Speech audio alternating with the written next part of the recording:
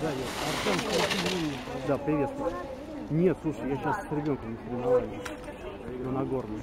Я буду часа только через три, наверное.